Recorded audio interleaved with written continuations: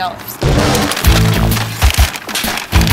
us, I think, approximately 20 minutes uh. in sunflower. Pretty sure this is gonna take a, a total of five minutes.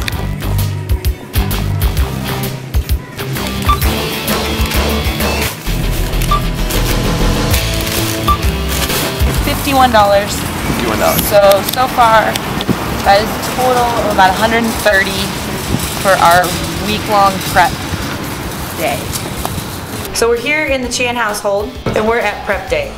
We try to do this once a week when we have time to prep a bunch of meals or a bunch of food that'll make it super easy for us to stick to what we do every day, zone paleo foods. We're gonna grill some steak today, some chicken, some sausage. We have some stew meat, we're gonna make a stew uh, pot roast and some ground beef. The ground beef is gonna go into a chili. So I like to make sure I have a big amount of protein for the week prepared. Also some eggs, which the eggs are actually gonna go in a recipe. We're not gonna prepare those anything special.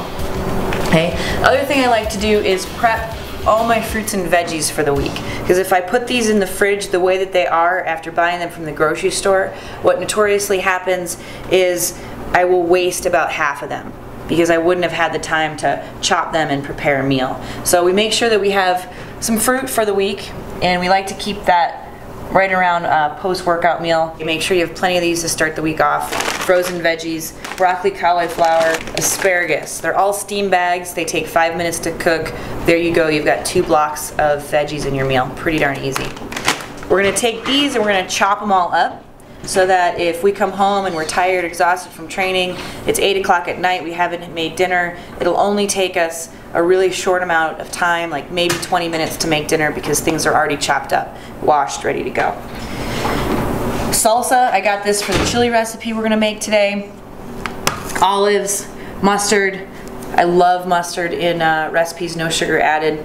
So other than grilling, chopping up the veggies, making sure the fruit is cleaned and put in the fridge in Tupperwares, we're also going to prepare two meals that are already blocked out. We're going to prepare a chili and we're going to prepare a chicken salad. Um, while that's going on, veggies will be cut, meat will be grilled, uh, stew will be being stewed. So let's get started.